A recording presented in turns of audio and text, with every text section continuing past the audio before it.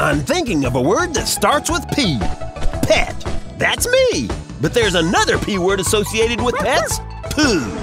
Let's face it, you all love pets like me, but picking up waste is a dirty business. But now you don't have to do it if you don't have the time. Just call Pet Butler. Pet Butler has been keeping yards, businesses, and parks clean and sanitary for 25 years. Here's another word praise for me telling you about Pet Butler. Give them a call today woof, woof.